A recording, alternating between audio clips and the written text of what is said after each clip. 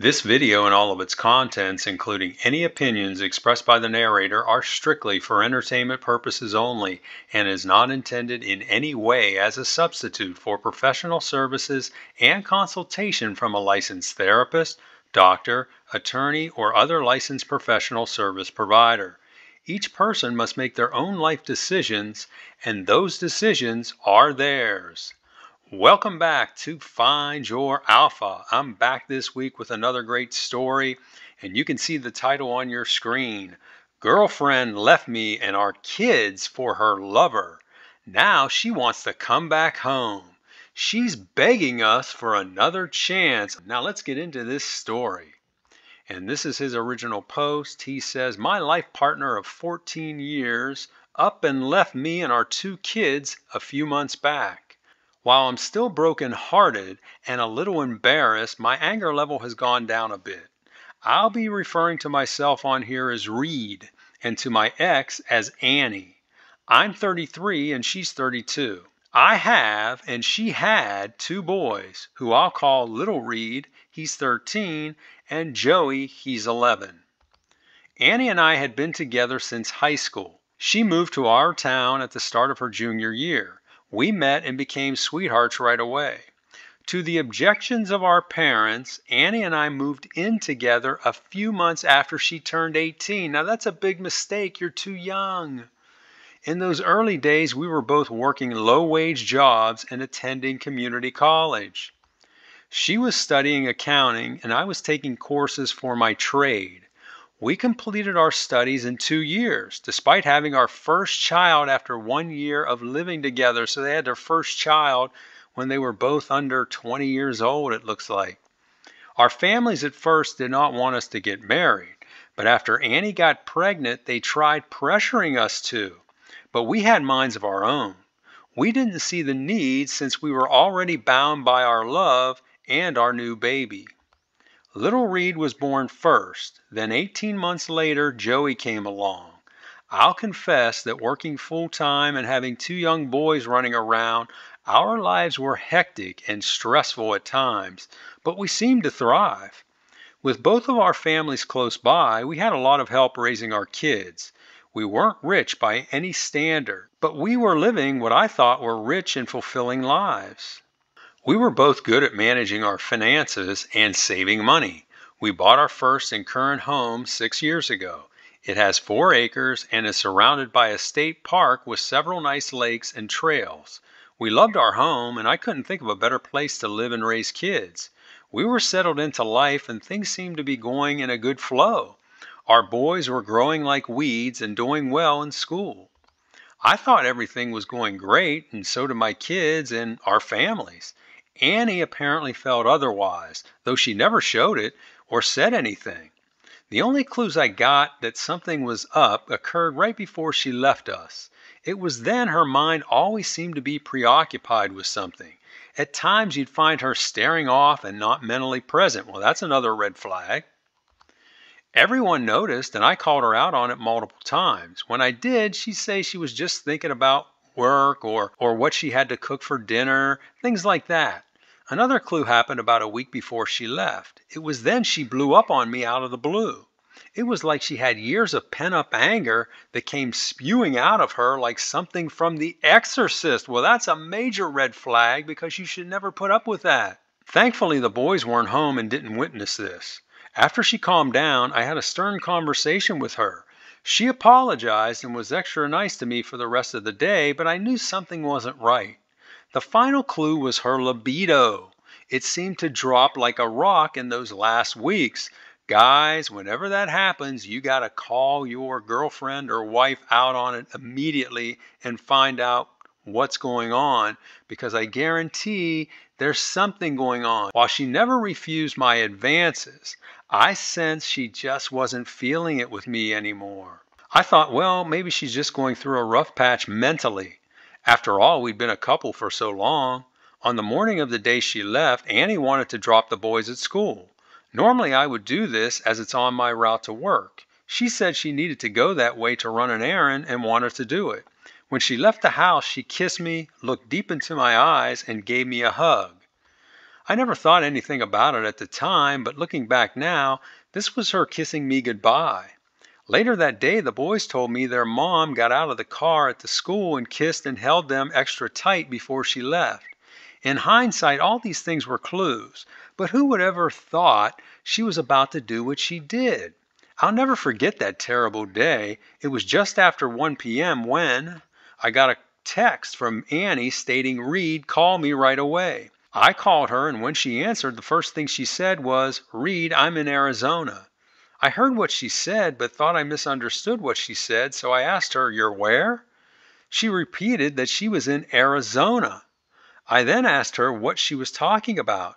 She told me to let her explain without interrupting. I stayed silent and she then proceeded to nuke my life. Annie said she moved to Arizona to pursue her dream life. Now, keep in mind, at this point, I had no clue what was happening. I asked her what she was talking about, and she just said, Reed, I've left you. I asked what she meant, and she said, I'm gone. I've left you, and I'm not coming back. I asked who she was with, and she said that wasn't important. I then asked her what about our boys, and she went silent. Then she said she had to go and hung up. I tried calling her back, but she kept sending my calls to voicemail. Eventually, she sent me a text saying she'd be in touch and to take good care of our boys. I'll admit right there, I was in a state of panic and started tearing up. A couple of the guys noticed and came over to check on me. I told them I just got terrible news from Annie and had to leave. The guy said they would finish up what I was working on and told me to go home.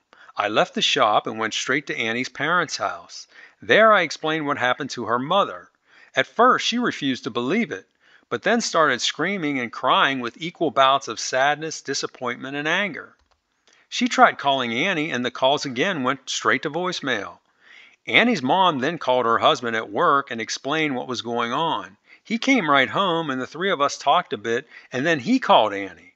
After four tries, she finally answered. She told her dad she was okay and she had moved to Phoenix or to the Phoenix area to start a new life. He asked her what the HELL she was talking about. He told her she has a man and two kids and needs to get her AWS back here. After talking to her for a bit, he handed me the phone. When she heard my voice, she hung up. Her father was shocked and was convinced she had been abducted. He said there's no way his daughter would do something like this, as she has always been such a responsible and caring person. He then called a police station for advice. The officer he spoke to told him there's not much they can do at this point, but said he would make a wellness call to her even though she was out of state. A short time later, the officer called back and said Annie told him she was fine and had moved to Arizona of her own free will.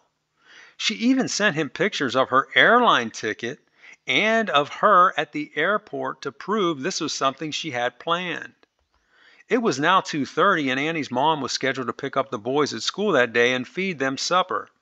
I told her mom and dad that I was going to my parents' place to tell them and asked they not say anything to my boys until I figured out what I was going to tell them. When I told my mom, she nearly passed out. She called my dad at work to tell him he couldn't believe it and came right home. When he got there, he went straight into dad mode, comforting me and then offering advice. He told me the first thing I needed to do tomorrow was to drain my bank accounts and then see a lawyer to safeguard the kids. I agreed with him and called my boss to explain what I was dealing with.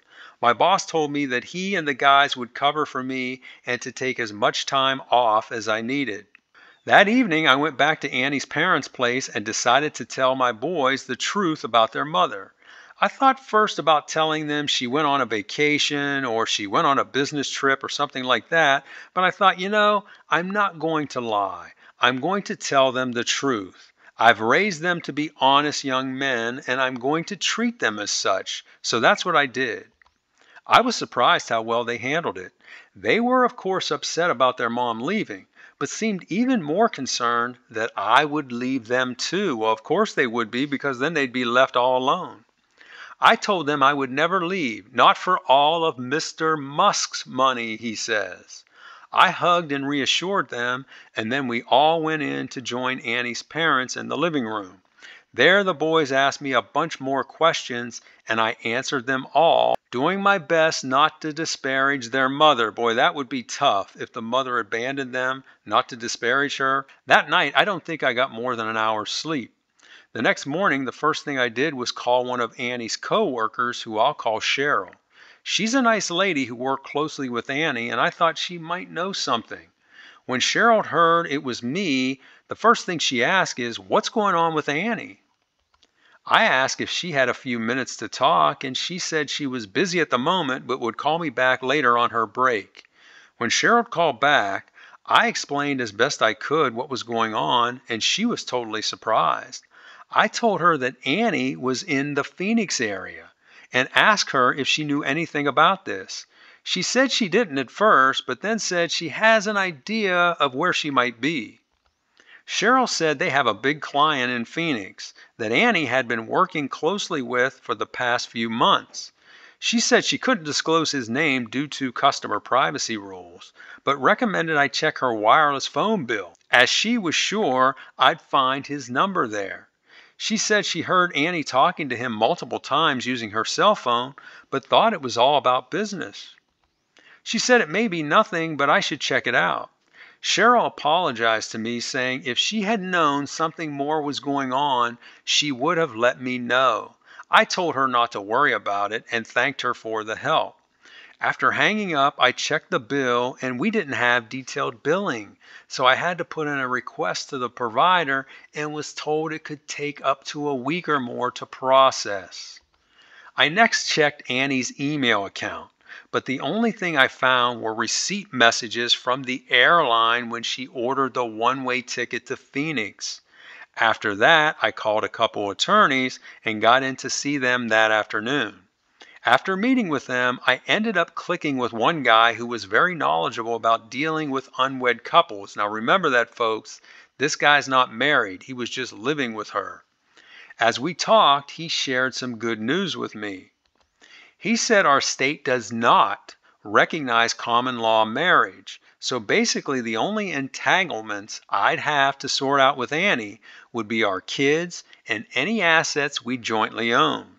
He recommended after leaving his office, I move half of the balances from any joint accounts we had together into new accounts, solely in my name.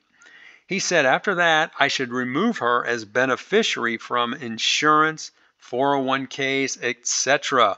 That's smart. He went on to explain that in our state, if a parent has willfully failed to provide support to a child for 30 days, it is considered abandonment. He strongly recommended I act on this immediately. He said we needed to get a legal notice to her advising that she has abandoned her kids and that I would petition the court for full custody in 30 days if she didn't return. He said this really needs to happen now. I agreed, but explained I didn't have her new address. He said we need to get it ASAP and said I should consider hiring a PI if I couldn't locate her within the next few days. A couple days later, I got the wireless call detail and saw right away who she was conversing with. There were numerous calls dating back over five months to one number with an Arizona area code. I did a search and found out who the number belonged to and looked him up online. The guy is the owner president of a company in the Phoenix area. Researching further, I saw the company was founded in 1991 and had estimated annual sales of $9 million in 2021. I also found out the guy is 59 years old. So remember, she's 32, so he's like 27 years older than her. And looks like he's 75 with a dark tan, fake teeth, and hair like Wayne Newton.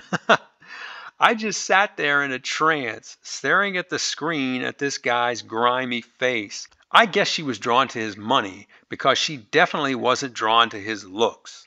I'll never understand it, and I'm no longer trying to. The following Monday, Annie's mom and sister flew to Arizona to meet with her. They called me while they were there and said she's nuts. They said they think she's either gone completely insane or is on some kind of drug because she's not the same person. They gave me her new address, and two days later, my attorney served her with the notice of abandonment. The notice informed her I would be filing for full custody after 30 days if she didn't return and resume her maternal duties. After receiving the notice, now listen to this.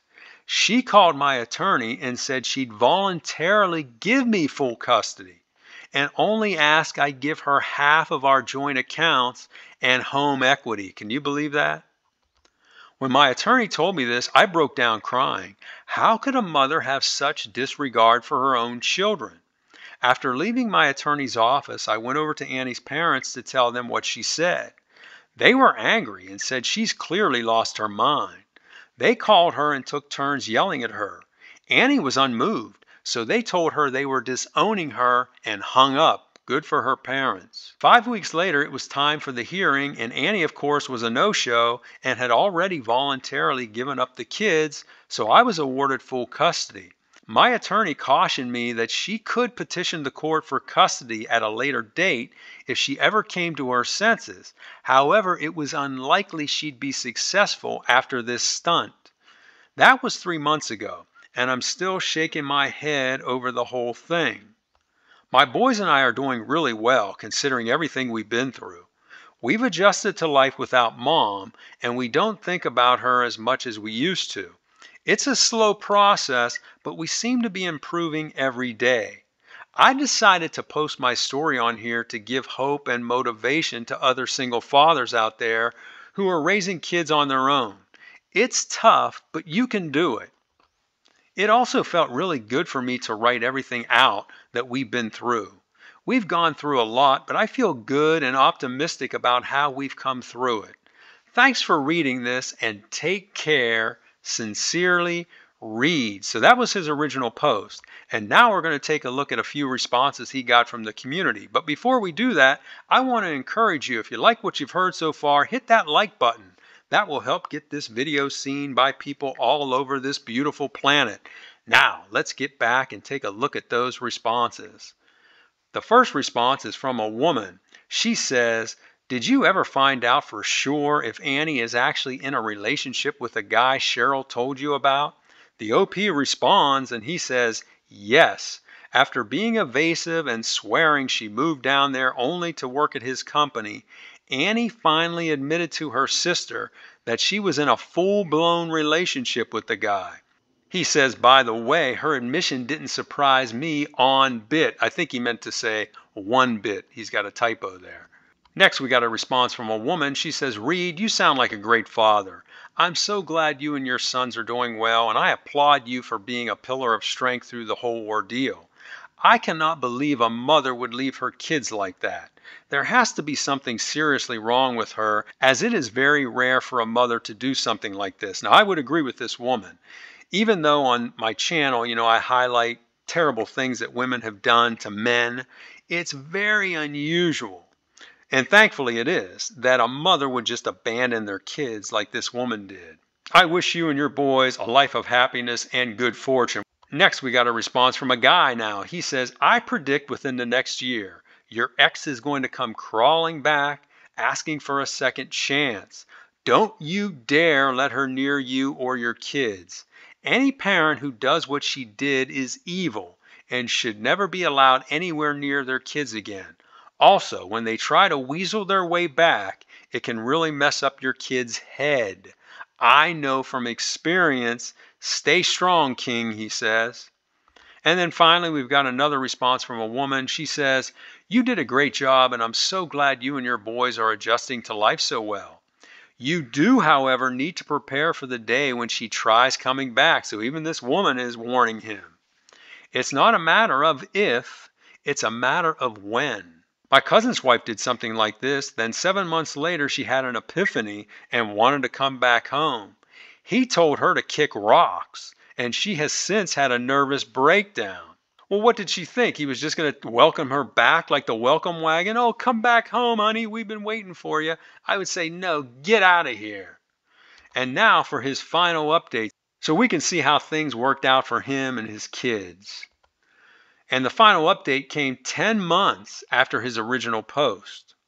He says, I never planned on coming back to post again, but I thought I owed it to all of you who've been following my story. As many predicted, Annie has moved back to town and is trying to get back into our lives. Why do they do this, especially when there are kids involved? It just further proves to me what a selfish person she is. According to her sister, now listen to this. Annie told her she just woke up one day and realized she made a terrible mistake. Annie claims that morning she told Mr. Big Bucks she had to go home to her husband and her kids, and he bought her a ticket and sent her home the next day. I doubt her story is true. So do I. More than likely, the guy got tired of her and booted her out after getting everything he wanted. Bingo! That's what happened, I guarantee it. Whatever happened, I don't care at this point. All I know is that she's back here and it's already brought drama to our lives. She's staying with her sister, who reluctantly took her in, as her parents still want nothing to do with her. Good job, parents. I wouldn't want anything to do with her either. I talked to her sister's husband yesterday, and he told me he can't wait to get her out of his house, as he can't stand to be around someone who did what she did. I broke the news to my boys last night, and their only concern was that their mom was going to try to get custody of them. I told them not to worry, as I have full custody, and that wasn't going to happen. I told them even if she tried, the most she'd be able to get would be supervised visits. They were relieved hearing this, but made it clear they don't want to see her, at least just yet. I understand how they feel and will abide by their wishes without interference, as I feel the same way. I have no interest in seeing or talking to her again, as I really don't care what she has to say, and I don't want to hear any of her excuses or apologies.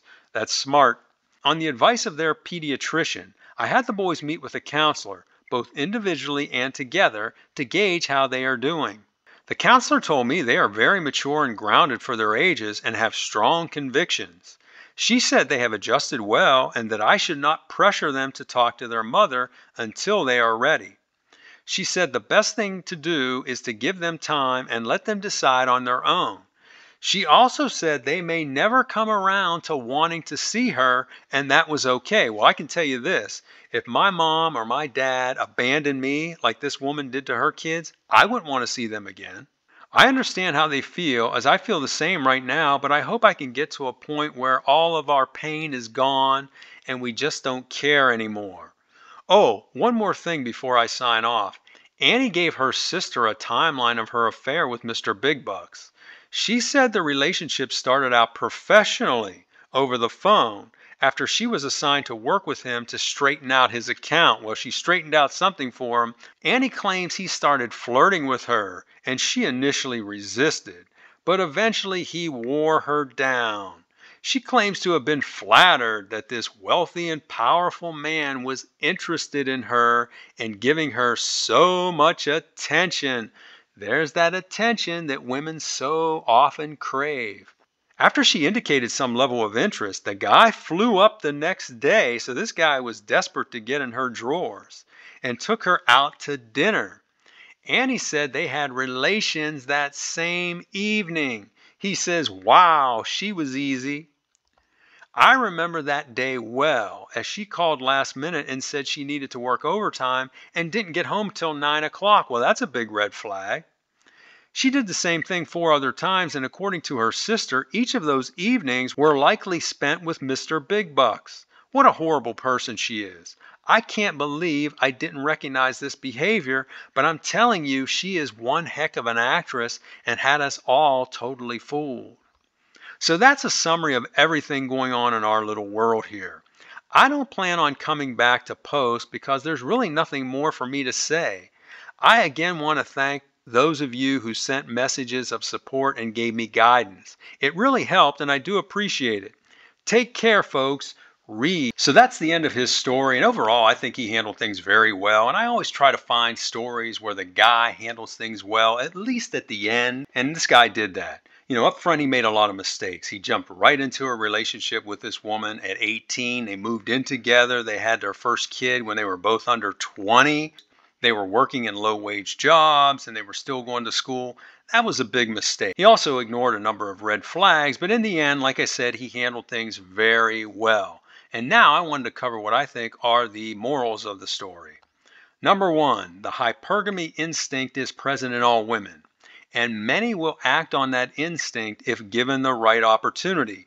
This woman obviously saw that this rich and powerful guy was interested in her, and she acted on it. Now, I'm not saying all women would do that. I don't want to get any hate mail out there from women about this, but there are many women who will act on that instinct. Next, Attention and validation are extremely important to women and can make them do crazy things like this woman. Now, all of us like attention and validation, but with women, it's off the charts. Next, before cohabitating, now this is important, check the laws of your state to see if common law marriage is recognized. In some states, as I understand it, if you live with a woman for a certain number of years, I've heard seven years, I've heard five years, that in those states, they recognize that just like you're married. So check the laws of your state before you move in with your girlfriend. Next, after cheating has occurred, take care of yourself mentally, physically, and financially. Most guys don't do this. They're all wrapped up in their emotions and then they start acting out. They start drinking or they may even take, you know, recreational drugs. They don't sleep right. They don't eat right. They're not thinking about their finances. They're not securing their finances to safeguard them against the wayward spouse or the wayward girlfriend. And you got to do that. That's critically important. So take care of yourself mentally, physically, and financially. And then finally, never take back a cheater. Don't even entertain it.